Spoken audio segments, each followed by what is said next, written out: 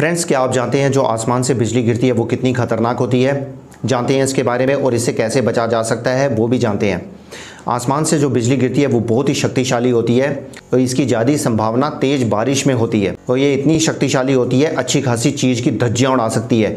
अगर इंसान पे गिर जाए तो उसकी हालत गंभीर कर सकती है। घरों में जो बिजली का करंट आता है, वो 220 वोल्ट का होता है। और ये जो आसमान से बिजली गिरती है, ये कई गुना ज़्यादा करंट होता है इसमें। कितना होता है? 10 करोड़ वोल्ट का करंट होता है। और आसमान से जो बिजली गिरती है, उसकी जो लंबाई है 10 किलोमीटर से लेकर 20 किलोमीटर तक की होती है। कैसे बचा जा सकता है? कुछ उपाय आपको करने हैं। सबसे पहले, जब भी बिजली गिर रही हो, कभी भी पेड़ के नीचे खड़ा नहीं होना है।